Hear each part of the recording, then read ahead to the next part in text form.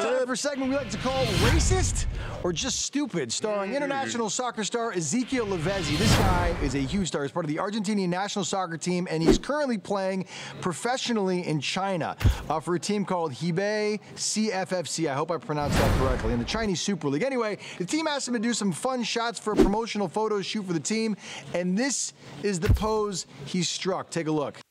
Yeah. I don't get it. That I just don't understand. that is the pose that, that racist people strike when they, you know, when you say, "Hey, what does a impersonate- Chinese person look like?" Right. and then they do that. I can't understand. First of all, if I do recall, there was a controversy some years ago with the entire Spanish basketball team that did Yeah, this. Yeah. Pau Gasol. Paul Gasol, and this guy didn't learn. Yeah. And look at these dummies Yeah. right there. Ricky Rubio, how dare I know. you right Be- By there. the way, before that, Miley Cyrus did the same thing.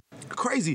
Why on God's green earth would people think that that's okay? No, this is like to me the equivalent of like dressing in blackface, right? Yeah, it's exactly the same thing, except for our history is a lot more putrid and, and, and hurtful in this country.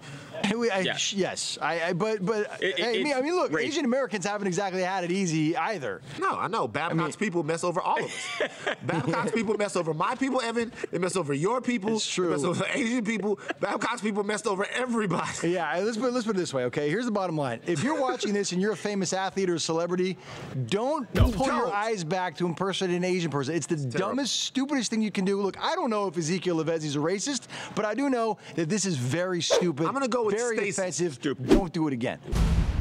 If you like what you just saw, videos, great stories, and crazy photos, we've got more like it every single night on TMZ Sports on FS1.